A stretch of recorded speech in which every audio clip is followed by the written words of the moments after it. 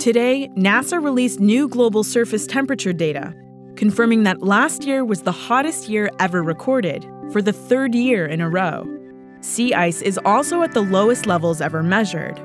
That analysis is crucial to global security and wouldn't be possible without precision data from NASA that captures exactly what's happening on Earth's surface. But some House Republicans and at least one Trump advisor want to defund NASA's climate research arm. For now, NASA's Earth scientists are forging ahead with plans that include a research satellite that'll measure minute changes in the world's ice sheet using lasers beamed down from space. Arielle Duhaime-Ross visited the Goddard Space Flight Center in Maryland to see how it works.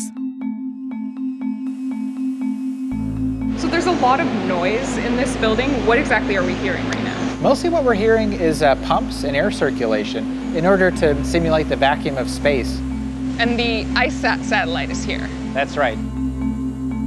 The Ice, Cloud, and Land Satellite, or ICESat 2, is NASA's next generation technology for measuring melting sea ice in the Arctic. ICESat 2 is just one of the tools we have to study how the planet is changing. Uh, NASA builds satellites uh, like Landsat that take imagery of the Earth, that you can look at changes in the color of the Earth or in the extent of forests. ICESat 2 really adds another dimension. It adds that third dimension. It lets us measure the height and how the height is changing with time. It'll send out little pulses of laser light, bounce them down off the Earth's surface, back up to the satellite, and if we can time precisely how fast the laser light moves and how long does it take to go down and back, we can figure out what the height of the surface of the Earth is beneath the satellite. So ICESat 1 took 40 measurements a second with its single beam laser and that basically equated to having a measurement in each end zone of a football field. Okay. ICESat 2 fires 10,000 times a second, and that'll get us data every football. Okay, so, so that's a huge difference. It's a huge difference. So we're going to get so much more detail with ICESat 2 than was available with ICESat 1. We don't even know some of the things that we'll see because we've never been able to look at the ice sheets in this kind of detail before.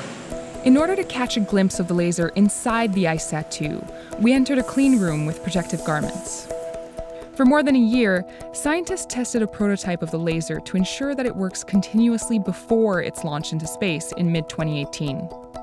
To get proper measurements from the Earth's surface, researchers have to make sure that the photons returning to the satellite hit optical fibers that are less than 1 100th of an inch apart.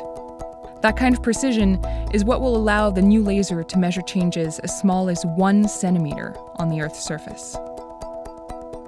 Once ICESat-2 is on orbit, it's going to collect measurements of the ice sheets of the polar oceans for at least three years. We're hoping for more as long as the instrument stays healthy. By comparing that with the first ICESat mission, we'll build an almost 20-year picture of how the polar regions are changing through time. It's an amazing new piece of technology, doing things we've never been able to do before, and understanding the planet in a way we've never been able to before.